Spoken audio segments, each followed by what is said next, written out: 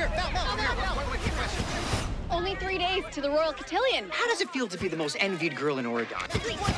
Everybody wants me to be this lady of the court, and I have no idea how to keep up the act. Wait, wait, question. Don't you ever miss screaming at people and just making them run away from you?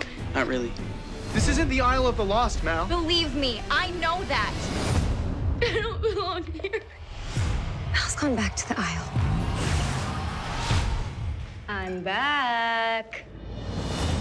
That little traitor who grabbed everything she wanted and left me nothing. When I get my chance to rain down the evil on Auradon, I will take it. This is my fault.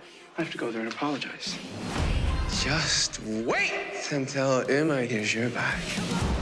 Where's Ben? Uma captured him. If you want Beastie Boy back, bring me Fairy Godmother's magic wand. You better hope your girlfriend comes through. You always were quite the drama queen. This is between Uma and me. We've been through a lot together. I'm not stopping that now. You could stick a tiara on a villain, but you're still a villain.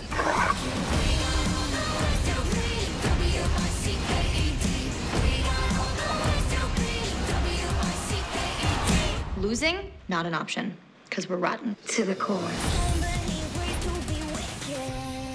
Oh, and sick hair, by the way. I know, I'm like loving it. It's like a lot lighter. Hello?